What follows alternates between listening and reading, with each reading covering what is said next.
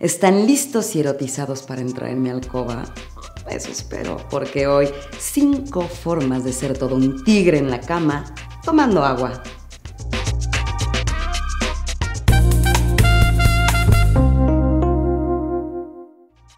Desde el momento en el que te excitas porque recibes una caricia, un beso o percibes una imagen que te enciende, tus neuronas se ponen a trabajar y le deben avisar a tu cuerpo de que es el momento para gozar, para que éste comience a generar toda una serie de funciones endocrinológicas, hormonales, físicas, fisiológicas, circulatorias. Y todo depende de tus neuronas, las cuales trabajan a partir de electricidad y necesitan un conductor agua.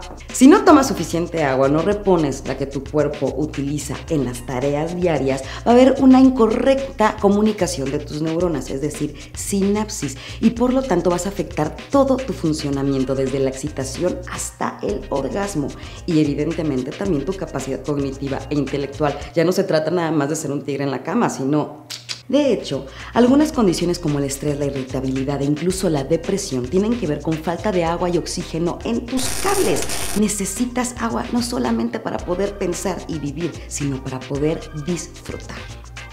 En términos de vida sexual, la deshidratación se va a traducir en falta de deseo, la correcta secreción de hormonas, entre ellos la testosterona que nos lanza hacia las sensaciones volcánicas, necesitan agua para poder producirse de una manera adecuada.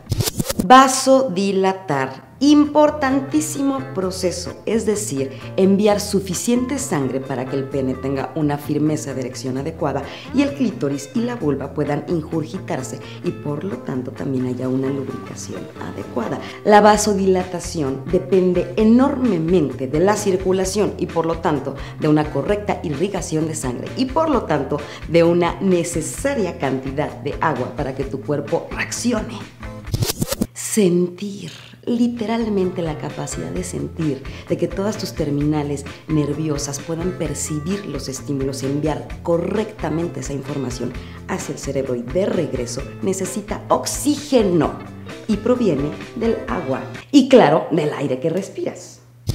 Lubricar Todas sabemos lo doloroso e incómodo que es recibir un pene en una vagina en seco.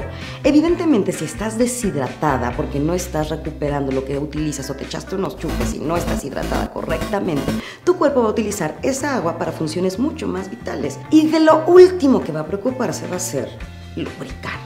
Las glándulas de Bartolino, que están situadas a cada lado de tu vestíbulo vaginal, o sea, la entrada a tu vagina, producen esta lubricación tan necesaria para poder recibir los embates del pene.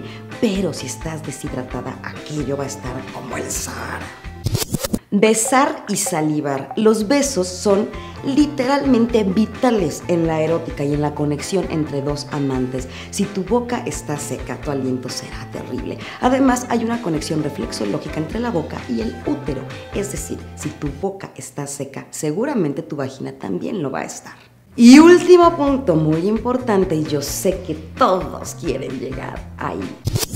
Orgasmo y eyaculación. La falta de hidratación va a impedir que el circuito de información entre la espina y el cerebro no se dé de una manera adecuada, porque evidentemente todo está dormido. Si realmente quieres lograr el orgasmo, necesitas una correcta hidratación. Bebe agua.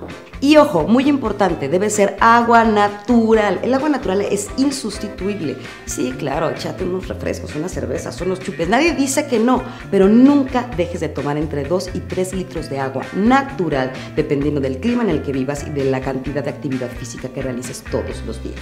¿Quieres ser el amante del millón, la tigresa en la cama, necesitas darle suficiente hidratación a tus músculos porque en términos calóricos utilizas entre 80 y 150 calorías en cada acto sexual. Sencillamente en un beso vas a activar entre 20 y 50 músculos faciales. Tus músculos necesitan sangre y esa sangre se hace de agua.